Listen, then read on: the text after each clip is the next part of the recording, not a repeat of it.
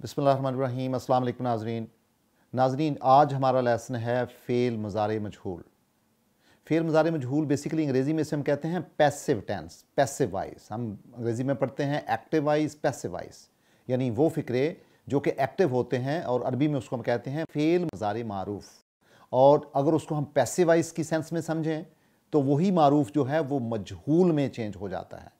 तो गोया फ़ेल मज़ार मजहूल हुआ जो कि मारूफ का पैसे वाइस होगा। फेर मज़ार मजहूल, फेर मज़ार मारूफ से ही बनता है और उसका कायदा ये होगा कि जब हम इसके फेल पे गौर करते हैं तो जो लाम कलमा होता है, उसको हम बिल्कुल नहीं छेड़ते।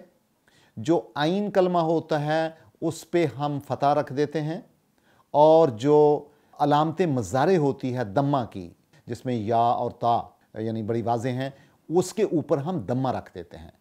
इसकी मिसाल हम देखते हैं। मिसाल के तौर पे हम कहते हैं यफ़ आलू तो ये बन जाएगा यफ़ आलू से बन जाएगा युफ़ आलू ये तो मॉडल हो गया टेंस, यानी युफ़ आलू अब हम देखते हैं, काफ, बा, दौद, और इसका फेल मारूफ होगा यक बेजू वो तंगी करता है, और इसका मजहूल होगा युक बाजू उसकी तंगी की जाएगी। और फिर हम एक और मिसाल देखते हैं। बासीन तो यब सोतो वो फ्राखी करता है या करेगा और इसका मजहूल होगा युब सतु उसकी फ्राखी की जाएगी या उसको फ्राखी दी जाएगी। और फिर है रॉ, जीम, आइन और इसका मारूफ होगा। यरजाऊ, वो लौट जाता है, वो लौट जाएगा और इसका मजहूल होगा। युरजाऊ यानी उसे लुटाया जाएगा। इसी तरह हदीस है कि मन ला यरहमू, ला युरहमू। यानी जो कोई रहम करता नहीं है, जो कोई रहम नहीं करता, उसके ऊपर भी कोई रहम नहीं होता। अच्छा इसी तरह हम कहते हैं कौतला। उसका मज़ारे होगा याकतलू। याकतलू उसका फेल मज़ारे मारूफ और उसका फेल मज़ारे मजहूल क्या होगा? युक्तलू। यानी वो जिसको कत्ल कर दिया जाए। इसी तरह हम कहते हैं रज़ा का यारजाकू, ये मारूफ है।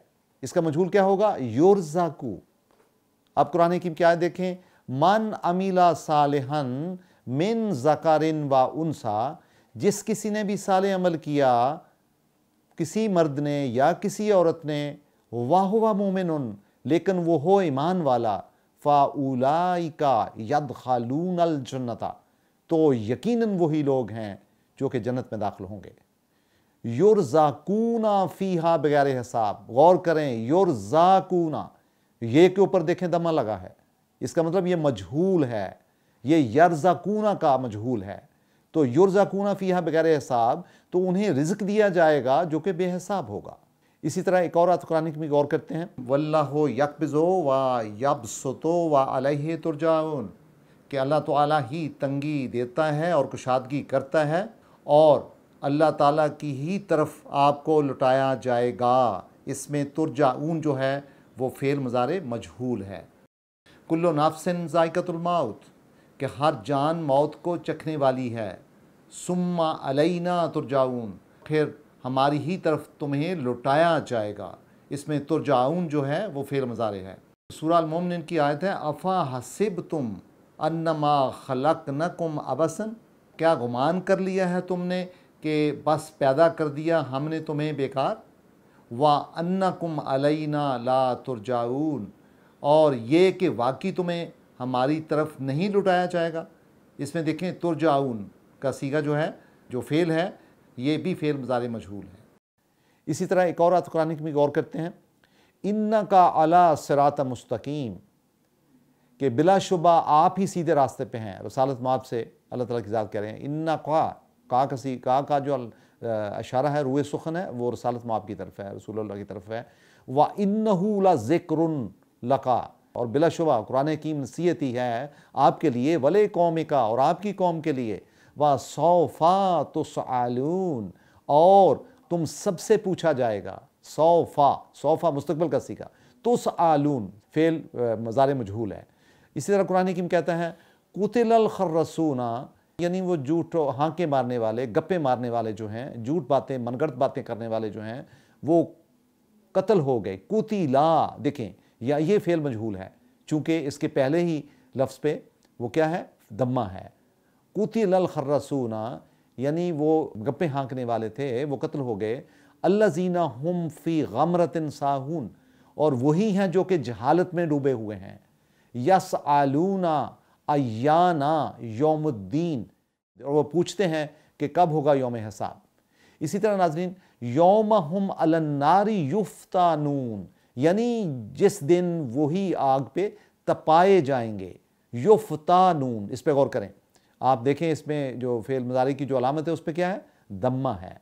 तो यहाँ से फ़ौरन पता चला हमें कि ये फेल मज़ार मजहूल है और ये थर्ड पर्सन है, गायब का सीगा है और जमा का सीगा है।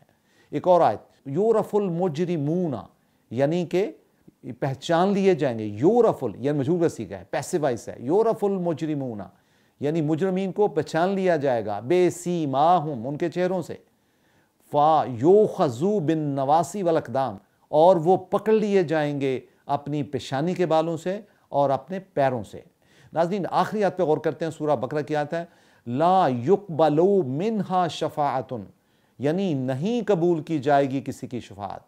युक बलो ये देखो फेल मजार मजहूल है। नहीं कबूल की जाएगी शफात किसी की भी।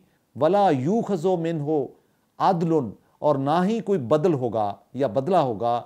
वला हम युन सरून और ना ही वो मदद किए जाएँगे। नाजरीन, गौर करें तीन अल्फाज पे। युक बालू फेल मज़ार मजहूल। यू खजू फेल मज़ार मजहूल। युन सारून फेल मज़ार मजहूल। ये तीनों मसालें जो हैं, एक ही आयत में आपको मिलती हैं, जिससे ये वाज होता है कि जो फ़ेल मज़ार मजहूल है, वो फ़ेल मज़ार मारूफ से बनता है और बहुत ही सादा कुलिया, आखिरी वाले लफ्ज़ को नहीं छेड़ना, जो फ़ेल मज़ारे है, उसके ऊपर दमा देना है, जो उसका दरमियान वाला आइन कलमा है, उसके ऊपर फतह रखना है, और ये तीन नुक्ते आपने याद रखने हैं तो गोया कि हर फेल मज़ार मारूफ से आप फेल मज़ार मजहूल बना सकते हैं।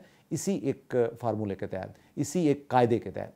तो लिहाजा आपका आज का होमवर्क ये होगा कि आप कुरान हकीम की आयात, दस आयात कम से कम ऐसी निकालेंगे, जिसमें कि आप फील करें कि इसका जो फेल है, वो मजहूल है, यानी कि पैसे वाइस है। फिर इसका फ़ायदा ये होगा कि आपको एक मज़ार मजहूल की शनाख्त का पता चलेगा, दूसरा इसको बनाने का जो कायदा है, वो आपका रिपीट होगा। तो नाजरीन, फिर कल का हमारा लेसन होगा इन अब वाब सलासी मुजरद। थैंक यू नाजरीन, बहुत शुक्रिया।